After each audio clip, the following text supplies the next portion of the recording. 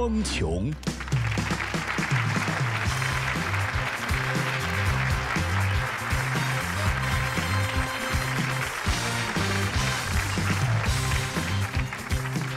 真情致谢，从新开始。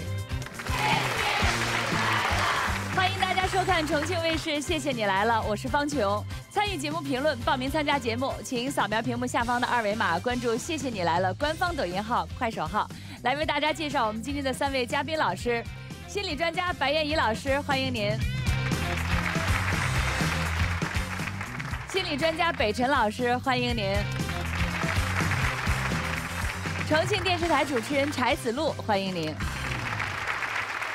好了，下面让我们一起来看今天的故事。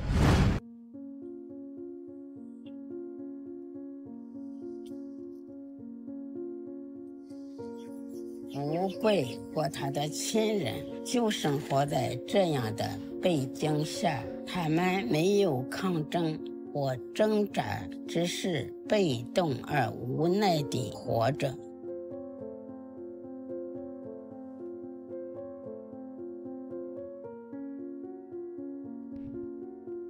我从来没有想过女儿会把我送到养老院里，因为我觉得我做的还不错，不会落到这个没人管的地步。我那感觉一下子觉着被人赶出家门了，心情非常的孤独，想哭。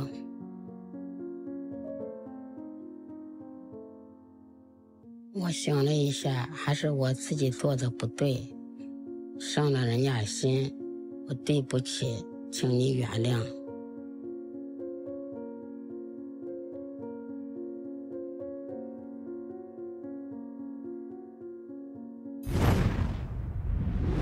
之间是发生了什么样的事儿，会做出这样极端的举动呢？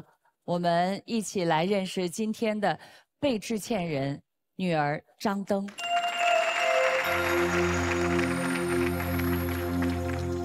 你好，张登。呃，今年多大了呀？今年三十九岁，很端庄、很温柔的一个女性。谢谢。我们都想象不到，怎么会让妈妈有这样的举动呢？举起铁锹铲我头，是因为今年春天的时候，当时我们住的房子是我们租的房子，它原来那个院子是用砖铺的，但是很整齐。然后呢，我妈妈就说这个太滑了。然后他就把这些都拆掉了。他每天在外面去转，捡回来一些破砖烂瓦，但是他认为那个更厚一点，他觉得不滑，但是都很残缺。然后他就把这边置换在上面，但是周围有很多地方就是，呃，因为是残缺的，他也找不到合适的。邻居家有一些贴地砖不用的碎瓷片、小细条，他就觉得那个瓷片是个好东西，他就把它放在旁边。然后我在走的时候就会不小心踢到这些，但是我都没有说。有一天我儿子在院子里光脚跑，把脚扎流血了，我就说他了。我说你看你弄这些根本都不好，也不好看，也危险。你看把孩子脚扎了吧？而且当时我妹妹她两岁的女儿也在家，我说你要是把小朋友扎了，扎个三长两短的可咋办呀？然后呢，我就进去在电脑上工作嘛，他就在院子里一直骂。我感觉骂了有将近半个小时，骂了半个小时。对他，他会说什么？他会骂什么？他在像泼妇叫街一样的骂。他骂的一个主题就是，凭什么不穿鞋？他就觉得是怪小朋友没穿鞋。然后我就因为我需要专心的工作，我根本不想理会。但是，他影响到我的专心了，我就很气，我就出去把那些碎瓷片全砸了。但是对他来说是他的心血，是宝贝，嗯，他就气得不得了，他就动手打我。他动手打你？对他动手打我。我想我三十九岁了，竟然动手打我，我觉得不可思议，我就还手了。你还还手了？就我我要还手，因为那个时候我已经大脑已经想不了那么多了，就是就是下意识的。然后我还手，他就举了一把铁锹，对着我的头，他说：“把你的头铲掉。”然后我赶快跑，我跑出去了，然后他就满街追着我，要打我，然后很多邻居都在那，我一看，这可咋办呢？我心里也很绝望，我直接躺地上了。我想就我眼睛一闭，我想把我铲死算了。然后邻居把他拉开了，但是我心里就是很难过，很伤心。其实听起来吧，我们真是觉得有点难以想象啊。那这样，接下来我们一起来认识今天的致歉人，母亲于秀金。主持人好，大家好，我叫于秀金，今年七十二岁了。哎，阿姨好，您请坐。身体怎么样啊？身体还好，很硬朗是吗？嗯嗯阿姨，怎么会跟女儿发生那么严重的冲突啊？因为院子里那个砖，冬天它一冻一小，它会长那些青苔，啊，青苔很厚。我经常在院子里走，会滑倒，哦，有时候我就滑倒了一次，把腿也绊伤了。伤好了以后，我就想办法去来了一些瓷砖，没告诉他，也没跟他商量，您摔跤的事儿他知道吗？我没给他说，啊，因为我自己造成的过错，我就自己要承担，不该让他知道。但是说孩子已经把脚扎了，对吧？闺女抱怨两句，这当妈的肯定心疼。那您这在院子里再骂半个小时，这事儿我们有点不太能理解，为啥呀？他就生气嘛，他就闹矛盾嘛。这弄起这矛盾，说我平时也做饭不好，打扫卫生不干净，你使些破烂儿，把院子弄满了。那怎么还动手了呢？因为我这脾气暴躁，那些年代生活又艰难，嗯又没什么吃，没什么穿的，养三个女儿不容易。老头儿也很懒惰，不爱干活儿，一些活儿都压在我身上，所以我脾气非常暴躁，非常的不好。两个月以前起了矛盾啊，啊，他把我送到养儿院，我不愿意去，因为我想离开故土，都是生人，我也不会说那个福建的话，知不道怎么沟通，而且我知道福建是南方，它靠海也很潮湿，他吃的都是大米饭。您是哪儿的人呀？我是陕西人，陕西人吃嗯面食吃的比较多，是吧？太对了，太对了。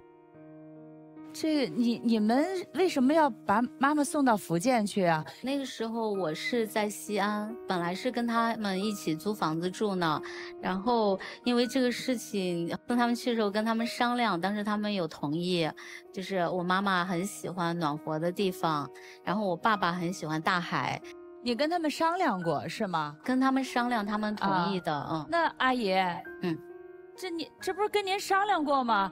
一开始是愿意的，嗯，但是我不知道这么潮湿，知不道跟这个不能跟人不能沟通是什么味道。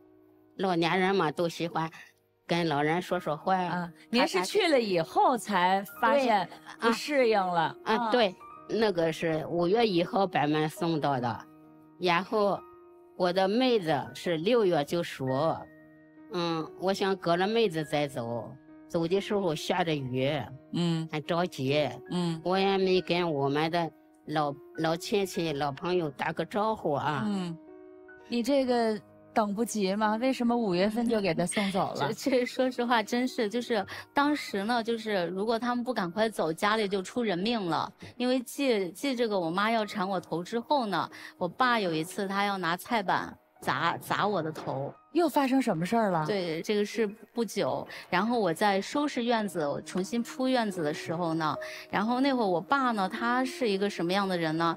他就是平常不遵守交通规则，脾气比我妈还暴躁。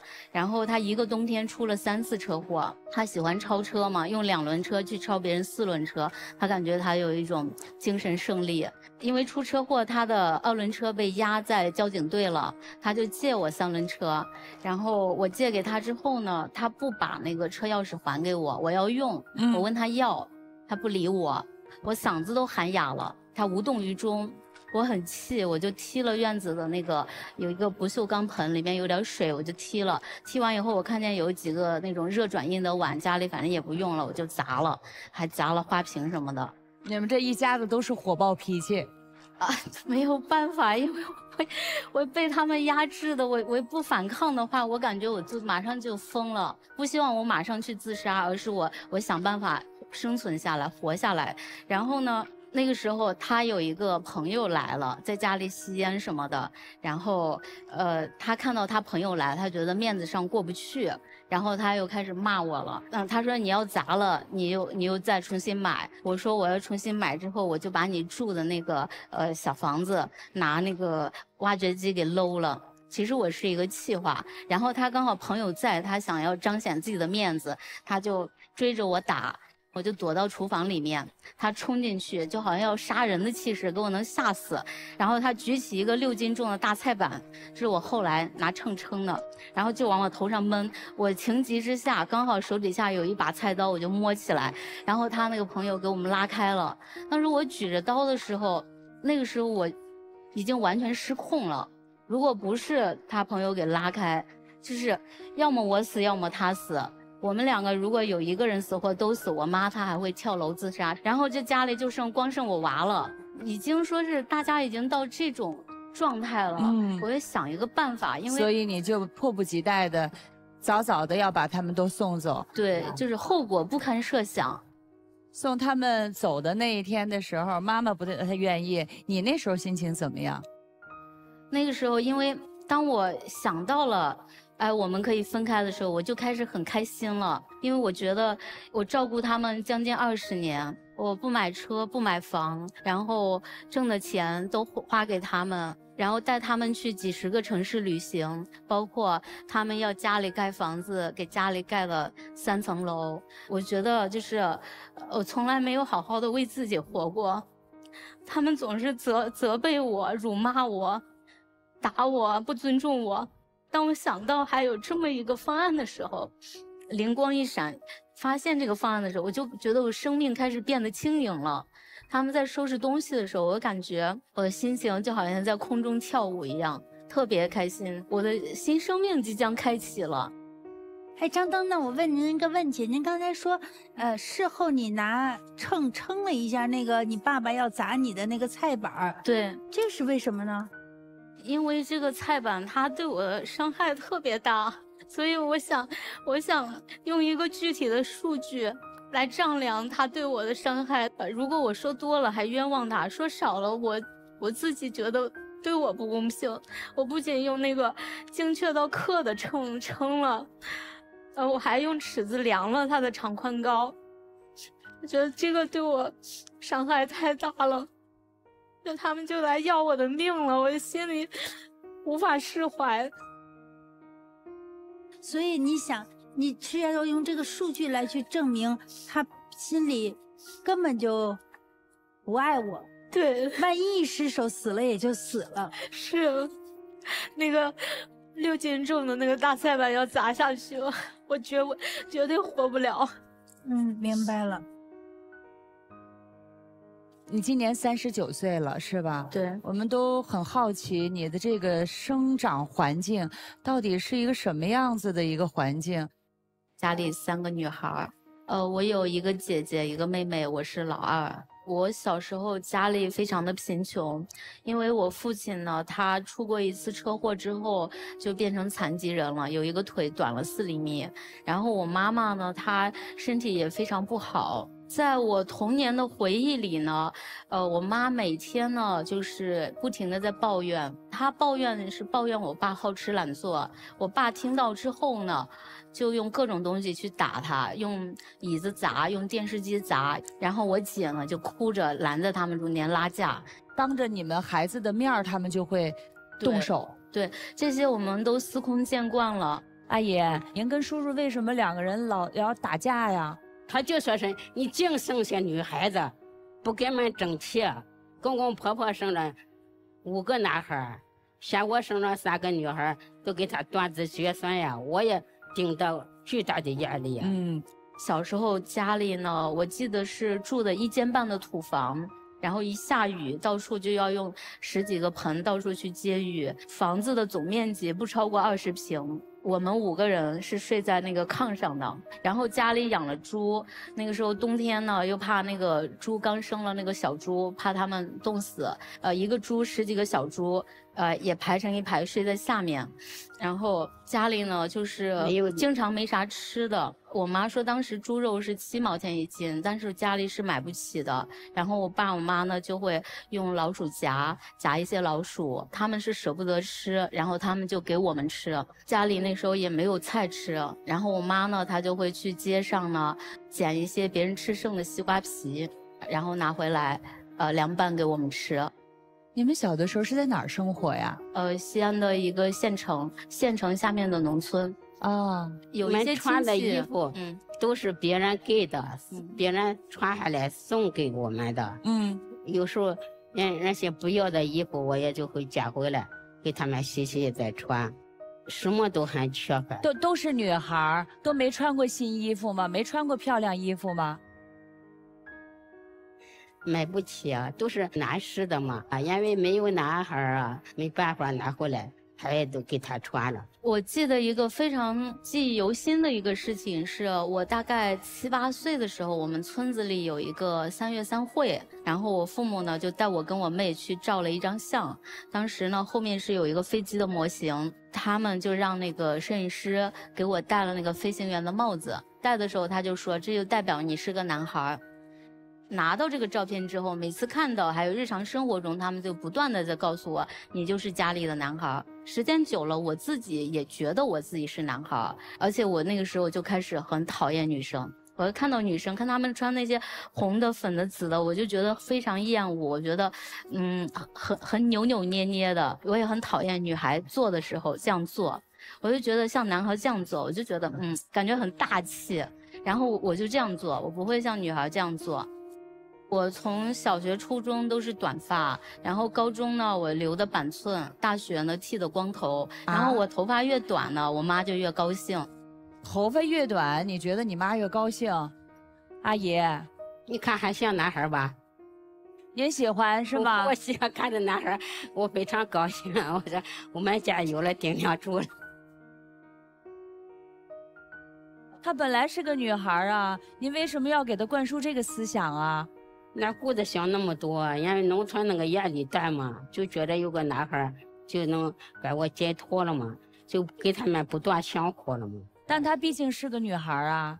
你说的对呀，她就是个女孩儿啊，您现在觉得我说的对了，您当初肯定不这么想，那不是心里空虚吗？张东，你那个时候会觉得这种思想会对你造成一些什么样的影响吗？我那个时候是因为我很小，我我完全不自知不自觉。当我意识到我是从小被 PUA 的，就是前前一两个月我才意识到的。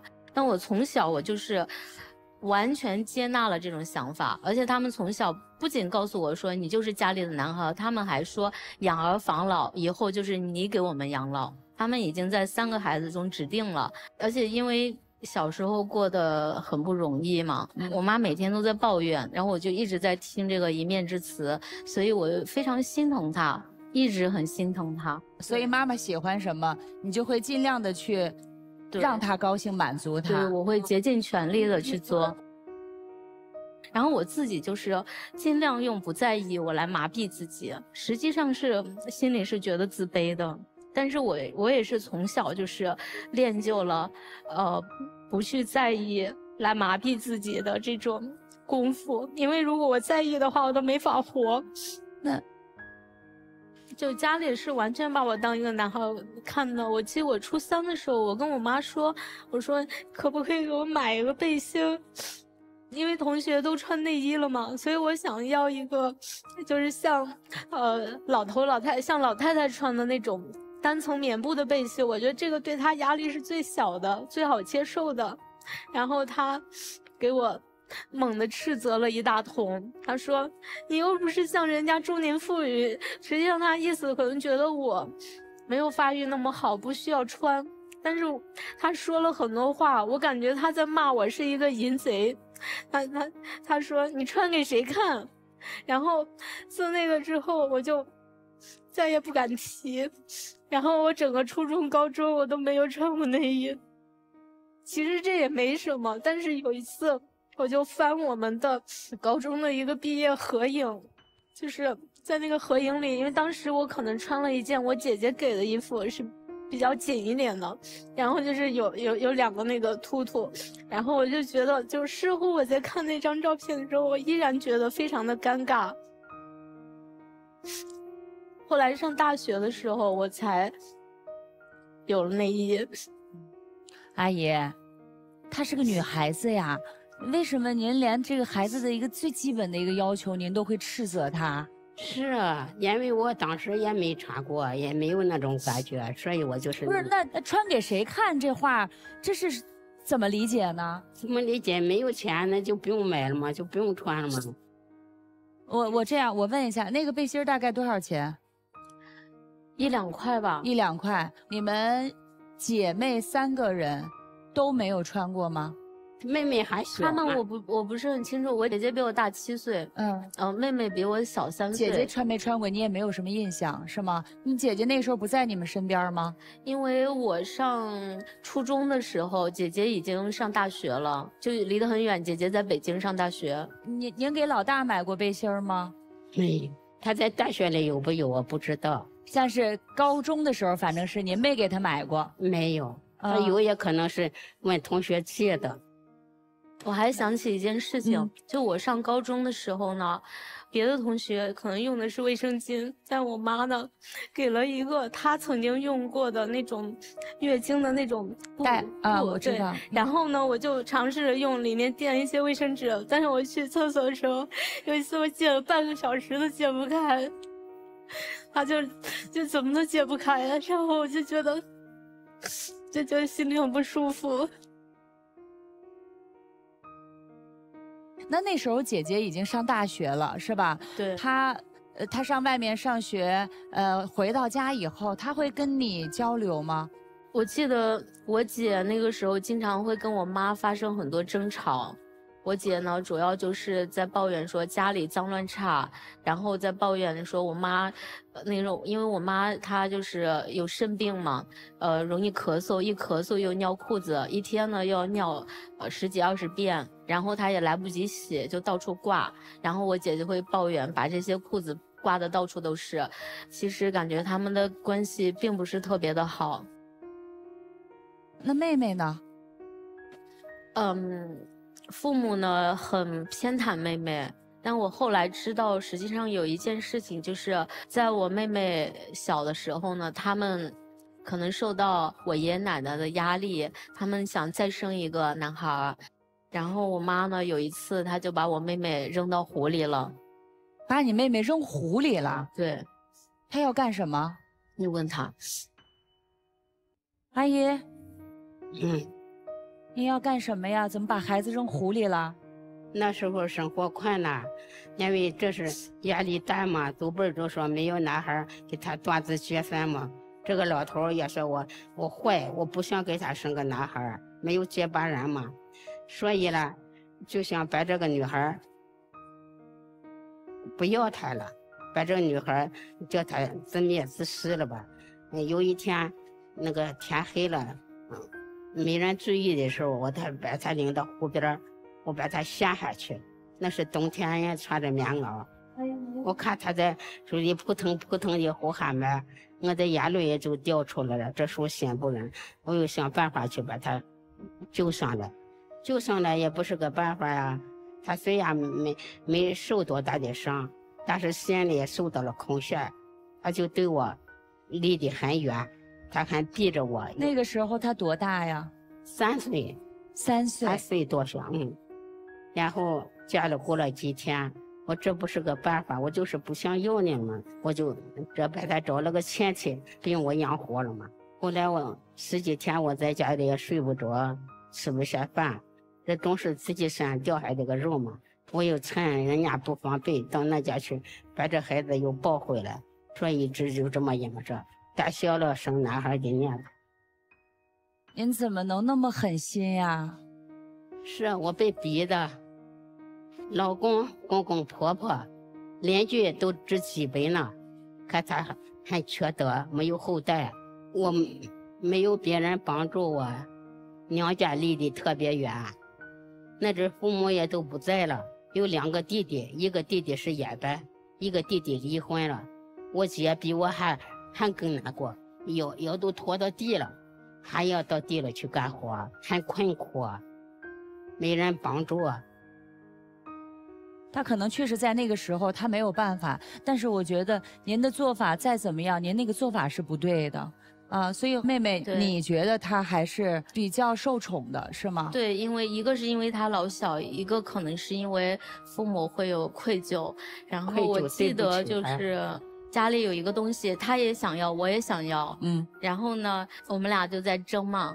然后我父亲过来就是当当裁判嘛，他给我打一顿，那个东西给我妹，然后把我妹抱着又抱又亲，就是我从小就是活在一个被忽略的一个状态下。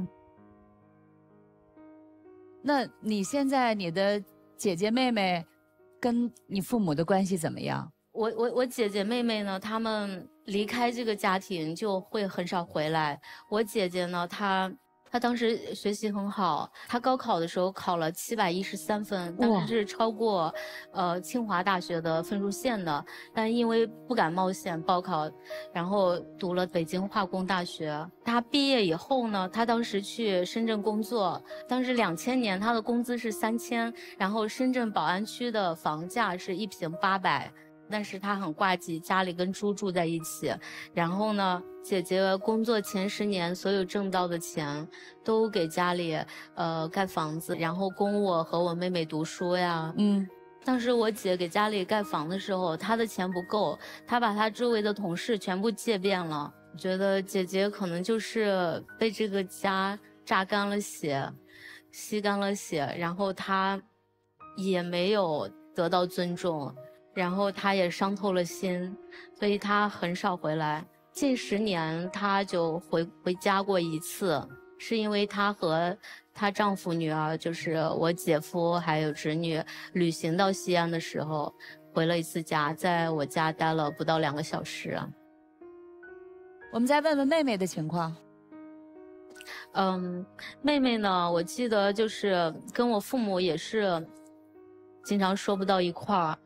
呃，哎，不是妹妹挺得宠的吗？是是挺得宠，但她长大以后呢，也会发生一些冲突，因为父母他们不懂得怎么尊重人。我记得在二零一三年的时候，她有一次呢，就是跟父母就是签了一个断绝亲子关系的协议书，专门写的是生气写的吗？还是是是生气写的。那后来就是也有往来，但是回家的时候也比较少。我们刚才这个聊了更多的都是你们三姐妹的事儿啊对。我也想问问，你妈妈生活在这个家庭当中，是不是你妈妈也挺不容易的？对我妈妈非常的不容易，对，因为她生的都是女儿，呃，没有生出儿子，所以我的爷爷奶奶呢，就是对她也很不满，然后也也会说她，说她缺德，呃，给家里断子绝孙。然后呢，我爸爸呢，就是他非常不会尊重人。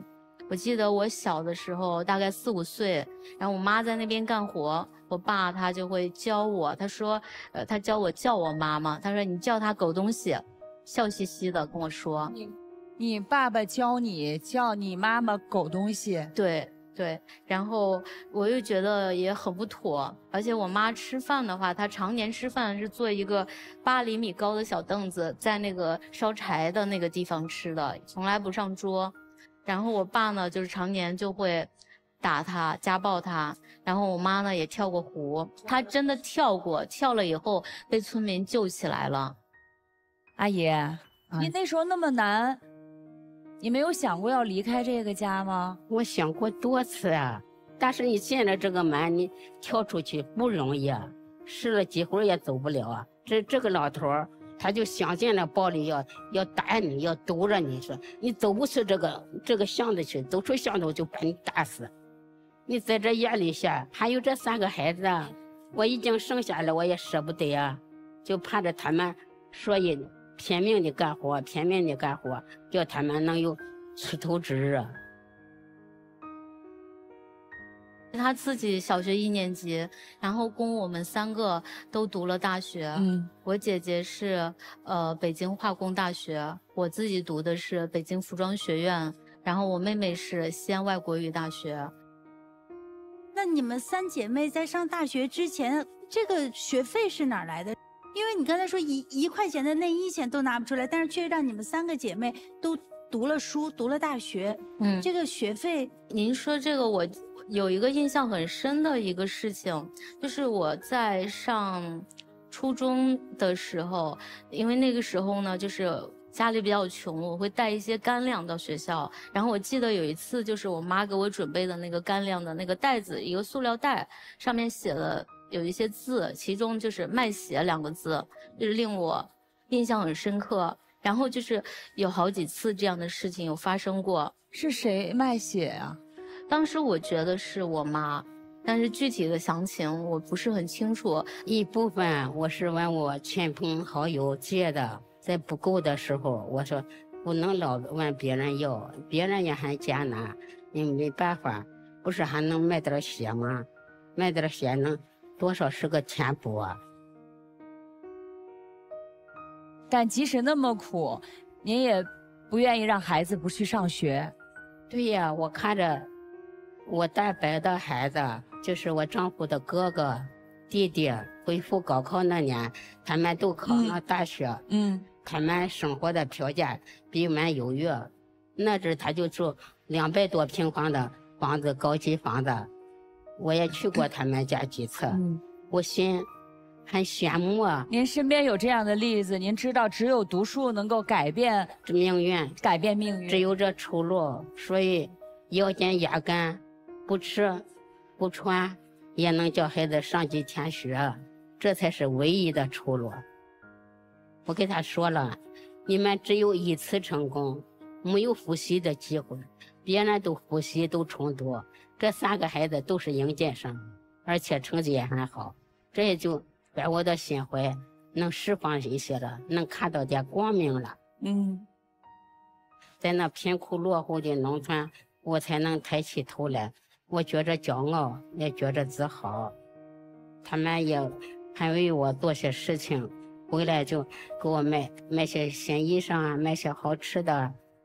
说实话，我跟阿姨聊这么半天，我真是觉得您特别不容易。我现在想起来，我们开头小片当中，您拿着一本书在那儿看，我我以为是摆拍。余华的《活着》，您是真看的是吗？我看了好几遍了，看了好几遍了。因为看看就受点启发嘛，看看就受点启发。您看这个书受到什么启发了？我看着是一本那个在上头写着余华写的。夕阳下，田埂上，老牛累得垂下了头。富贵平淡地讲述着他多灾多难的大半生。多少年过去了，一言不变的是脚下的泥土。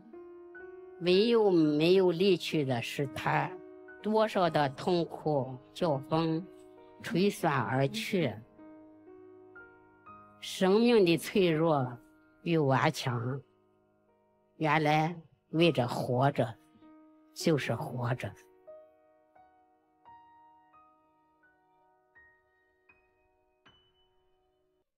您会觉得这个故事写的就是您吗？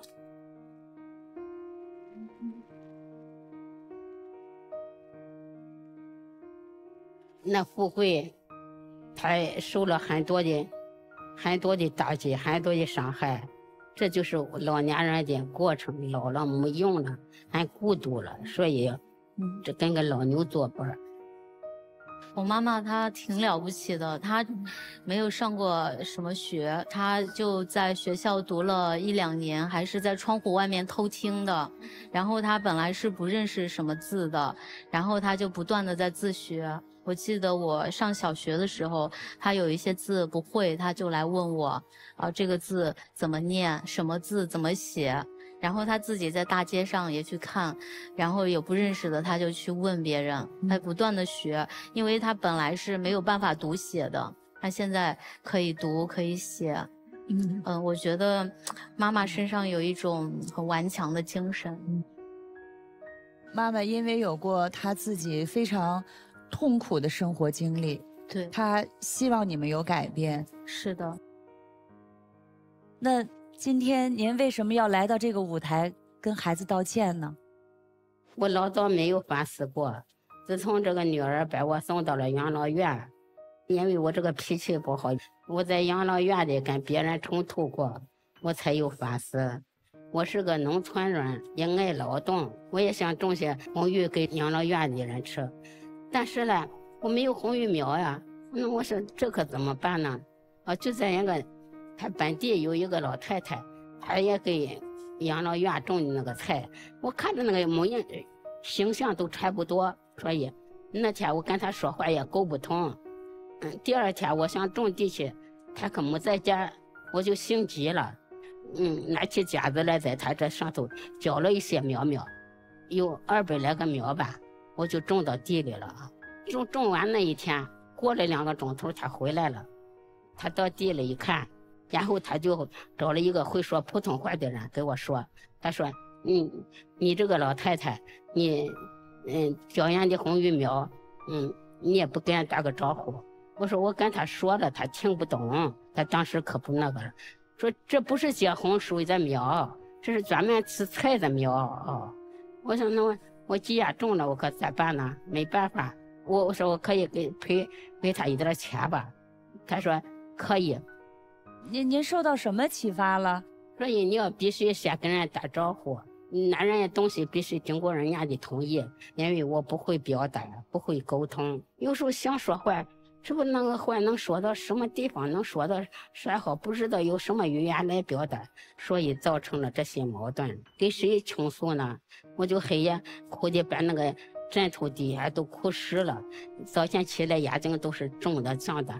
人问说你怎么了？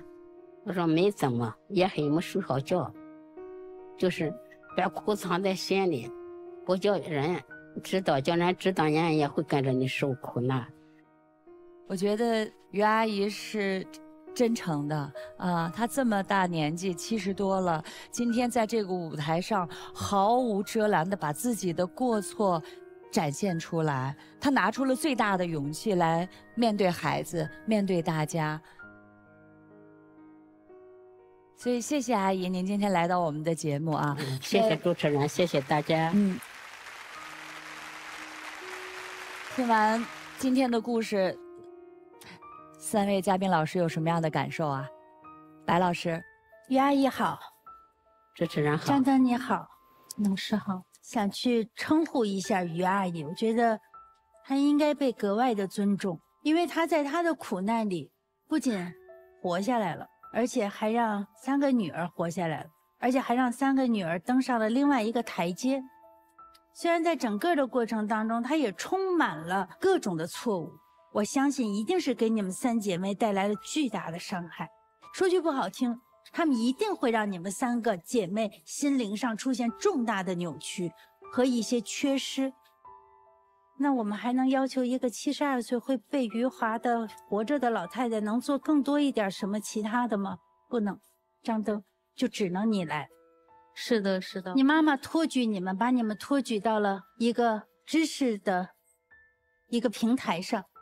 对，你们怎么运用这个平台，那是你们的命运。人各自有自己需要去修炼的东西吧。我只能够在此希望妈妈在她晚年的生活当中，不要太长久的漂泊在他乡。然后我也特别的祝福张登，能够尽早的、更好的去冲破你内心痛苦的那个屏障，找到你内心真正的力量、真正的爱、真正的自己。谢谢老师，谢谢你们的到来。谢谢老师。秀金妈妈好，我脑海里一直浮现着余秀华那个名字。如果妈妈读过书，有一些文化，我想很可能成为苦难当中走出来的诗人。看到这样的一个老人，在封建的礼教和旧的世俗、传统的错误观念的影响或者说苛责下，他形成的愚昧是令人遗憾的。但是他人性当中很闪光的部分，他的伟大同样也是令人震撼的。你们的故事最打动我的就是这一份人性的真实和母爱的那种忏悔。你的名字也特别有趣，张灯，我们都想到后面是结彩，对吧？我特别希望，也祝福，也相信你后面的人生会喜气盈盈，张灯结彩。同时，再去完善一下自己的人格，再去疗愈一下自己的创伤，再去和自己父母或者那一代因为贫穷和愚昧带来的过失去做一个和解。可能你的成长会更快速，甚至你可能会影响和，嗯，支持到你的姐姐和妹妹，疗愈他们的伤痛。好，祝福你们。太好了，谢谢，谢谢你们来了。谢谢。我相信你们今天来到我们的舞台，也是怀着巨大的勇气，在面对曾经那么重的伤痛，对于母亲，对于整个故事，有恨。包括我在内，一个旁听者而已。恨于妈妈吗？不是，恨那个愚昧的那些观念，然后也很佩服，也很庆幸，很庆幸你们如此挣扎的在自救，包括今天的到来仍然在自救。很感谢你们的到来，你们再次的拿出自己的勇气来面对过往的那些伤痛，所以希望你们的故事。可以带给大家更多的力量，谢谢你们。好，谢谢三位嘉宾老师。呃，今天的故事足够让我们每一个人都深思。那么接下来我们把时间交给你们，谢谢你来了。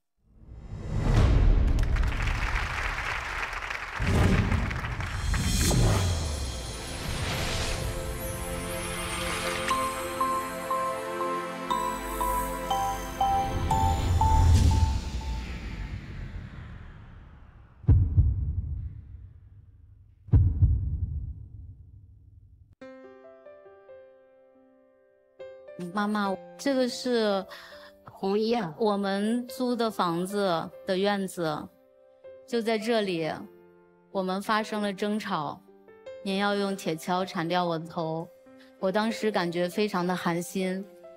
张灯，对不起，因为我不会说话，不会沟通，伤了你的心。其实我是非常爱你的。非常喜欢你们，你们三个都是我的荣耀，我很自豪。我说了错了话，请你不要计较。我是说插掉你的头，是说着说着玩的。对不起，女儿，请你原谅，妈妈错了。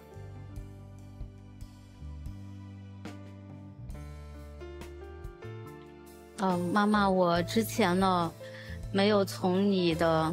从小的生长的这个角度去看待你的人生，可能我觉得我受到了一些非常不尊重的对待。但是今天梳理了一下你的人生，我感觉你活得非常不容易。如果我是你，没有办法像你做的这么顽强。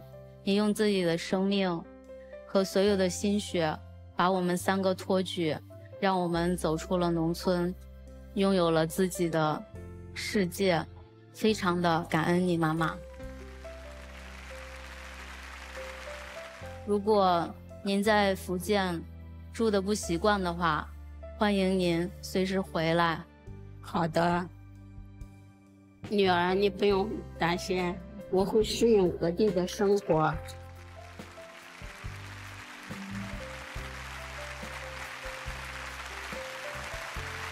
我嗯，虽然你们你不用给我什么报答，我不需要报答，只要身体健康，我还能生活自理，不要你们都是我的责任和义务。希望你们为社会做更多的贡献，这是我的心愿。妈妈全是嘱托啊，阿姨小小的身躯，巨大的坚强，非常感谢你们今天来到我们节目。分享你们的故事，也希望通过今天的节目，你们全家都能够好好的。好啦，好，谢谢你们来了，祝阿姨身体健康啊！感谢主持人，感谢大家，谢谢你。其实我是非常爱你的。